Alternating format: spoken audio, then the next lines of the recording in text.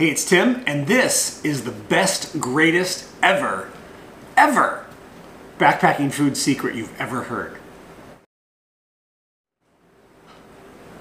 Okay, when I was a kid, um, I used to mess around in the kitchen all the time. My mom, my parents were gone at work and stuff, and I had to make my own snack when I got home from school. And so I would get bored with like normal cans of soup and stuff, and I just started mixing them together like a, a can of beef stew and a top ramen, or um, uh, you know, can of chicken noodle soup and some beans, whatever, just to kind of spice it up and make it make it more exciting. So anyway, last uh, a few months ago, I finished a little section hike of the PCT, and I was hiking along, um, and I wanted to stop and eat a little dinner before I got to camp.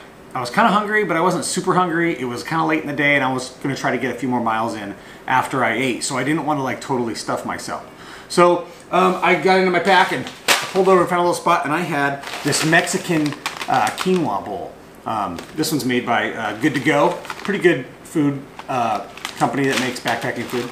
Um, but I didn't want to eat the whole thing. It's like a two person serving. Um, and I just wasn't like super stuffed or super hungry. So I took about half of it, maybe even a little less than half of it, and I dumped it in my pot um, and just, you know, maybe I just totally winged it.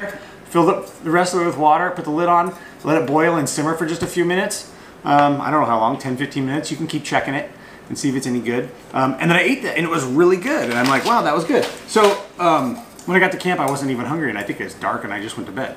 So um, a couple days later, uh, I had this thing in my pack and it was folded up. I folded it up after I was using it because you know these are Ziplocs. So I Ziplocked it and I folded it in half uh, and shoved it back in my food bag. And, um, you know, one side note here, one of the things I always carry with me is some kind of, it's like my trail snack favorite thing, is a, a bag of some kind of Fritos. This is the Trader Joe's organic corn dippers, but these work Fritos work, my favorite.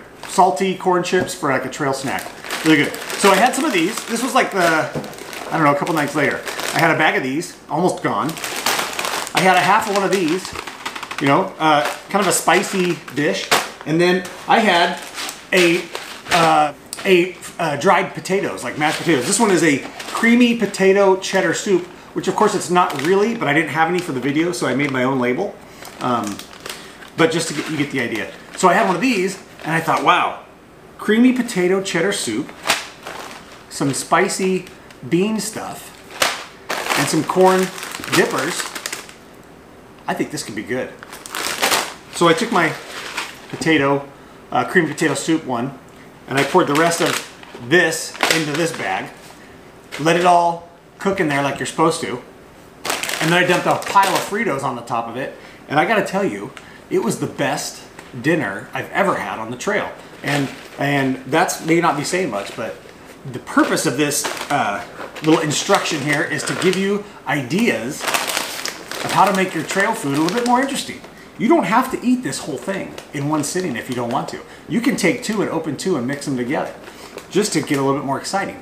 Um, anyway, these are just some ideas. They're probably the best backpacking food ideas you've ever, ever heard.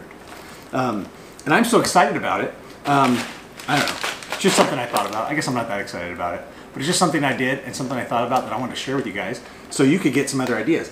You can mix anything you want. Okay? Hey, just some ideas for backpacking. Food ideas. Secrets. This is a secret. Well, it's not now because now you know about it.